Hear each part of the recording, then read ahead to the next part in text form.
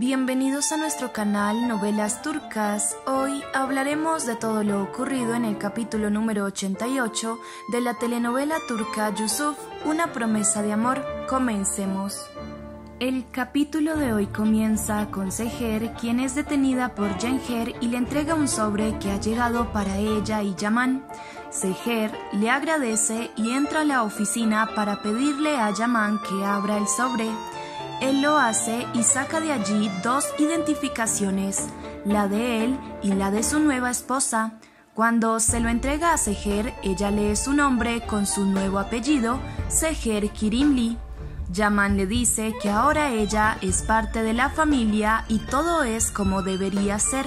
Se refiere a su matrimonio, pero también a la realidad, ya que todo es cierto, es tan real como debería ser. En ese momento, Nedim se disculpa por interrumpirlos y le dice a Yaman que tienen un asunto en la empresa y necesita que vaya. No lo molestaría si no fuera necesario. Yaman dice que está bien y le dice a Seher que se verán más tarde. Ella mira la identificación en sus manos y sonríe. Al mismo tiempo, Iqbal está empacando la maleta de su hermana mientras Suhal llora desconsoladamente. Iqbal le ordena que se calme. Tienen que aceptar la realidad de que han perdido. Suhal responde que la única que perdió fue ella, pues para Iqbal todo sigue igual. Iqbal le dice que solo pasará unos días en la casa de la isla y cuando Yaman se calme verá cómo llevarla de vuelta a la mansión. Suhal le grita que la única que se tiene que ir de esa casa es Seher. Luego toma un saco y baja las escaleras. Iqbal la persigue pidiéndole que se detenga y Seher la observa desde el pasillo. Mientras Yaman está en la reunión en la empresa, él no presta atención a lo que dicen y mientras tiene su tarjeta de identificación en la mano, no puede dejar de pensar en el momento en que Seher dijo su nuevo apellido. Él está muy feliz de que ahora ella sea una Kirimli. Por su parte, Seher también se encuentra pensando en lo mismo y sonriendo. Yusuf le pregunta por qué se ve tan feliz y ella responde que solo estaba mirando su identificación nueva. Ahora tiene el mismo apellido que él. Yusuf dice que entonces ahora sí son como sus padres y él es el hijo. Seher recibe una llamada de Yaman, quien le pide que se arregle, pues esta noche irán a cenar. Seher queda sorprendida, pero a la vez muy emocionada. En la comisaría, Neslihan entra a la oficina de Firat, quien la mira con una gran sonrisa y le pide que tome asiento. Neslihan se disculpa por molestarlo con el asunto del robo. Él responde que no es ninguna molestia y se hará cargo de ella en todo este asunto, pero primero deberá dar su declaración y contarle todo tal cual pasó.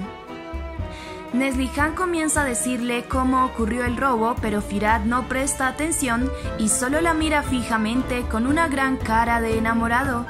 Cuando Neslihan termina, Firat le agradece por contarle y le dice que ahora deben ir a llenar varios formatos. Él ayudará. Ambos se ponen de pie y en la entrada, Ibrahim le pregunta a Firat si Kara regresará en una hora. Firat responde que sí y sale con Neslihan. Ibrahim ha llegado con el sobrino de Kara. Hace poco él vio a Kara peleando en forma de juego con este joven. Ibrahim pensó que se trataba de una pelea real y lo golpeó supuestamente para defenderla. Luego de ello fue que Kara lo detuvo enojada para decirle que ese es su sobrino y solo estaban jugando. Ibrahim piensa que este es el motivo por el cual Kara está enojada, así que ha llevado al joven y le ha pedido que diga ciertas cosas para que Kara se dé cuenta de lo arrepentido que está. Él le pide al joven que ensayen una vez más cómo lo dirán, pero no saben que Kara los ha escuchado desde la entrada. Ella, muy molesta, entra y le ordena a su sobrino que se vaya a casa. Luego le dice a Ibrahim que será mejor que la deje en paz a ella y a su familia. No sabe por qué está tan obsesionado, pero no se lo repetirá nuevamente. Ibrahim no dice nada. En la noche, Yaman está reunido con Seher en un elegante y lindo restaurante. Él no puede dejar de mirarla y solo piensa en que no puede seguir ocultando sus sentimientos y ella debe saberlo ahora en este lugar. Él le dice a Seher que le gusta mucho ese restaurante y la comida es deliciosa. Seher responde que no cree necesario asistir a ese tipo de lugares Después de todo, ya están casados y no conocen a nadie en ese lugar. Yaman le dice que lo más importante es estar sin conocidos. Ellos ahora son marido y mujer. La prensa, las redes sociales, todos los conocen en el país y están encima de ellos, aunque no los vean. Por eso deben hacerlo más seguido. Este matrimonio debe ser real. Él está decidido a comenzar a decirle todo lo que siente, pero Seher primero lo interrumpe preguntándole si pudo resolver su problema en la empresa. Yaman responde que se resolverá, pero ahora deben resolver otro asunto juntos. Hay algo que quiere decirle. Seher recuerda las palabras de Nadire y está tan nerviosa que deja caer el agua encima de ella y se levanta para ir al baño. Yaman no sabe qué más hacer. En la comisaría, Firat y Neslihan esperan a que los documentos estén listos y que sean enviados al registro civil.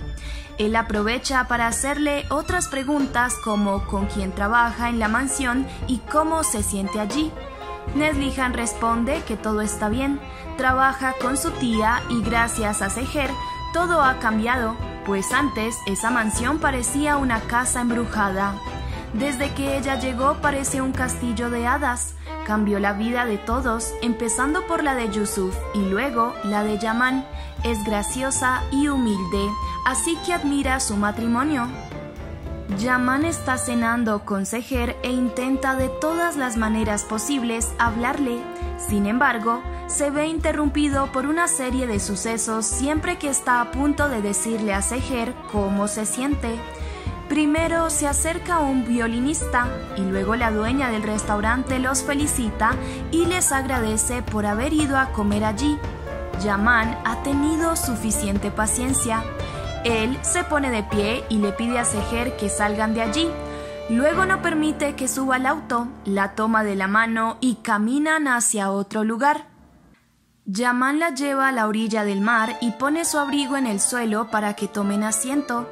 Seher toma algunas piedras en sus manos y Yaman le dice que espera que ella no tenga que pasar jamás por lo que él vivió. Debido a algunas circunstancias la vida lo endureció y lo fragmentó como a esas piedras que tiene en su mano a veces sin querer y otras a propósito. Se fue moldeando a base de golpes. Además de todo, tuvo su mayor quiebre y cambio en los últimos meses. Cambió debido a lo que ha pasado y después de que ella llegó a su vida. Yaman recibe una llamada de Iqbal que decide no contestar, pero solo unos segundos después lee un mensaje de su parte. Iqbal le dice que Suhal tuvo un accidente y está siendo llevada al hospital ahora. Iqbal entra a urgencias con su hermana mientras llora y le ruega que no la abandone. El capítulo termina en el hospital. Seher y Yaman llegan y al verlos, Iqbal abraza a Yaman mientras le pide que no permita que su hermana muera. Yaman le pregunta qué fue lo que sucedió y ella responde que Suhal se sentía tan miserable por lo que pasó que al parecer mientras estaba conduciendo rápido se desvaneció por un segundo. Seher abraza a Iqbal y le dice que Suhal saldrá de esto. Ella es muy fuerte. Un médico sale de urgencias para darles las novedades sobre Suhal.